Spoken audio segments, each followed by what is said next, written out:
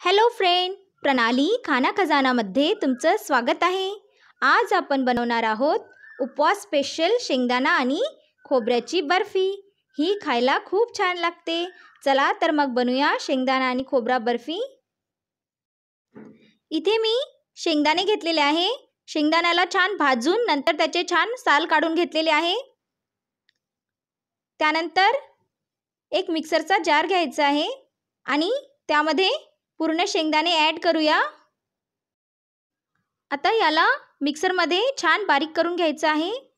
आणि शेंगदाण्याची जाडसर अशी पावडर बनवून घ्यायची आहे आपल्याला.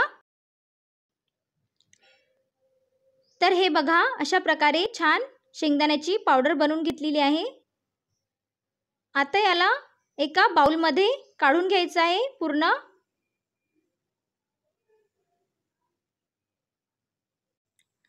तर ही बघा अशा प्रकारे मस्त जाडसर अशी पावडर शेंगदाण्याची करून घेतलेली आहे. त्यानंतर याला मोजून घ्यायचं आहे. तर हे बघा इथे एक वाटी शेंगदाण्याची पावडर भरलेली आहे. तेवढीच आपल्याला साखर लागणार आहे एक वाटी. त्यानंतर अर्धी वाटी पाणी अर्धा चम्मच वेलची पूड घेतलेली आहे. आणि एक वाटी खोबऱ्याचा किस घेतलेला आहे इथे. खोबरा किस आपण जसा लागेल तसा यामध्ये ॲड करूया. इथे बर्फी सेट करायसाठी एका भांड्याला छान तूप लावून घ्यायचं आहे. पूर्ण बाजूंनी. तर हे बघा अशा प्रकारे छान. इथे पाक बनवायसाठी मी एक कढाई ठेवली आहे गॅसवर. आता त्यामध्ये एक वाटी साखर ॲड करूया. त्यानंतर अर्धी वाटी पाणी.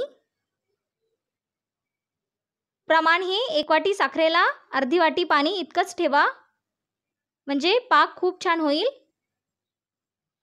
आणि छान मिक्स करायचं आहे. आणि मस्त कडक असा पाक करून घेऊया आपण.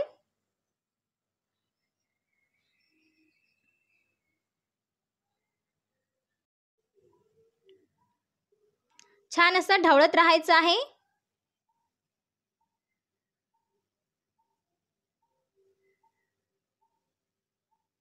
तर हा बघा आपला एक तारेचा पाक तयार झालेला आहे.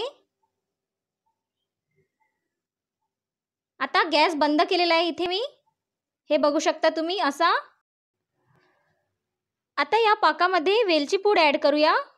आणि वेलची पूड छान मिक्स करून घ्यायची आहे. त्यानंतर यामध्ये शेंगदाण्याची पावडर ॲड करूया. आणि छान मिक्स करून घेऊ. पूर्ण छान मिक्स करून घ्यायचं आहे मस्त.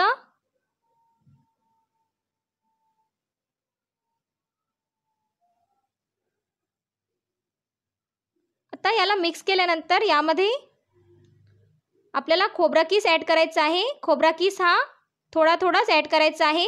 जसा लागेल तसा खोबरा किस आपण यामध्ये ॲड करू. आणि छान मिक्स करून घेऊया.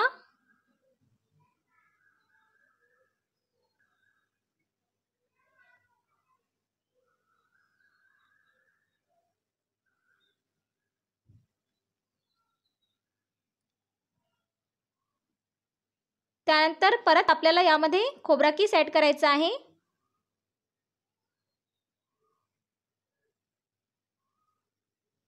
आणि छान मिक्स करून घेते मी.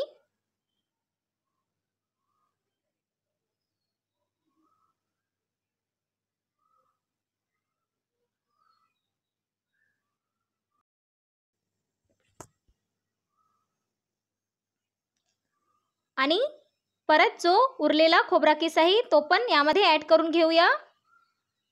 आणि पूर्ण मस्त मिक्स करून घेते मी याला.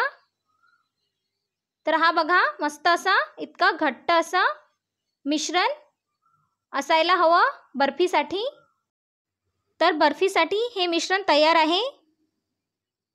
आता तूप लावलेल्या भांड्यामध्ये हे पूर्ण मिश्रण टाकायचं आहे.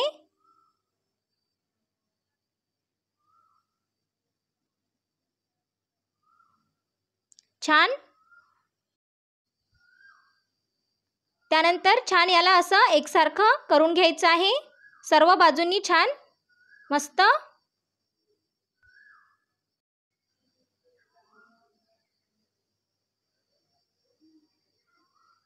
त्यानंतर याला छान कापून घ्यायचं आहे. मस्त वडीचा शेप द्यायचा आहे याला. तुम्हाला आवडेल त्या आकाराच्या तुम्ही वड्या कापून घ्या.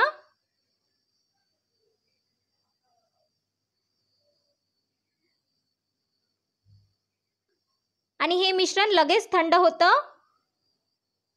सेट केल्यानंतर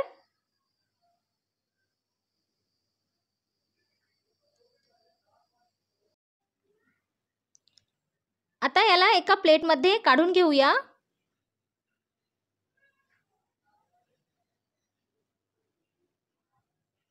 तर हे बघा मस्त. छान आपली शेंगदाणा आणि खोबरा बर्फी तयार झालेली आहे. बघा खूपच छान झालेली आहे ही. आणि खायला खूप छान लागते. तुम्ही नक्की करून बघा. तुम्हाला जर ही रेसिपी आवडली असेल तर याला लाईक शेअर आणि सबस्क्राईब करा आणि बेल आयकनला सुद्धा क्लिक करा. त्यामुळे माझ्या नवीन व्हिडिओची नोटिफिकेशन तुम्हाला मिळत राहील. थँक्यू